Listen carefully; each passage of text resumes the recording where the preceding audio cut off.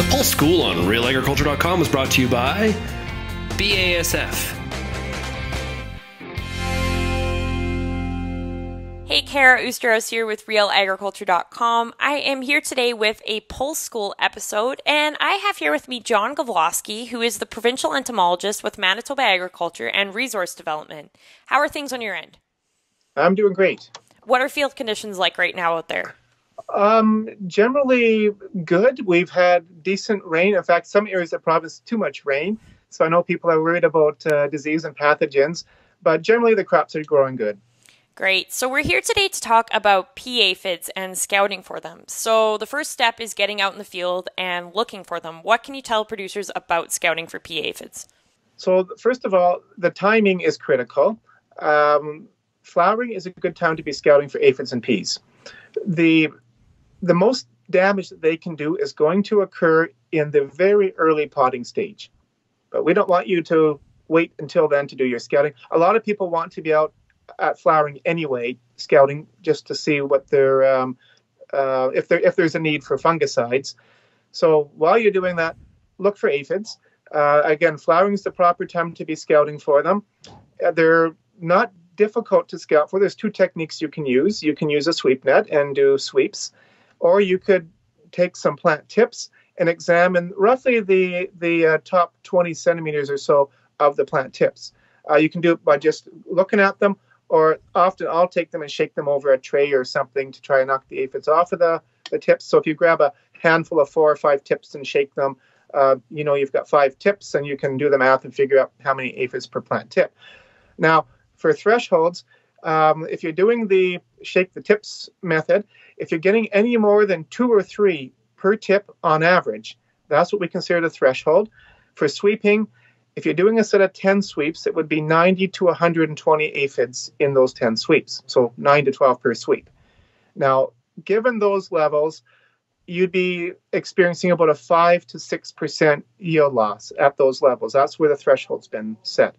And depending on the value of your crop, you can do the math and, and make adjustments to that. Uh, there's been good research behind these thresholds, so there is some flexibility. Uh, in fact, on our website, we have a fact sheet with a table, and the table allows you to make adjustments uh, depending on the value of your crop and the cost of your control. So, what sort of damage will the aphids actually do in that early podding stage? So, what aphids do is they're basically competition for the phloem that is trying to reach and develop those peas. So, uh, they've got a sucking mouth part, so they tap into the phloem and they're sucking that phloem sap you will still uh, you still get the same quality of pea production, but quantity you you may get less peas and you may get smaller peas, depending on number of aphids and other stresses such as drought conditions. So it's, it's basically a, a quantity uh, loss. What are some of the control options that are available right now? So th- there are insecticides registered. Um, in peas, you've got several products you can choose between. And I should also mention aphids can be a, a, problem in lentils and faba beans for pulse growers. Faba beans, they can be a real big issue if they're not managed. And faba beans, it gets really tough because uh, there's such a long flowering period and you have to worry about pollinators, which are very critical. So, and there are some products that are um, better suited for those circumstances. So, if people have product questions, contact your provincial entomologist. They can guide you through some of that. Aside from insecticides, though, there are a lot of natural controls happening in the field. So things to watch for. Uh, if you're borderline threshold, but you're seeing a lot of lady beetles, lacewings, um, hoverfly larvae, minute pirate bugs, there's a whole set of predators that will feed on pea aphids, and sometimes they can um, contain the populations and prevent them from really exploding into something that would damage a crop. So if you're seeing a lot of those beneficials while you're scouting, that's good, especially if you're not quite at threshold, but you've got lots of these, that's great. There's also parasitic wasps that attack them.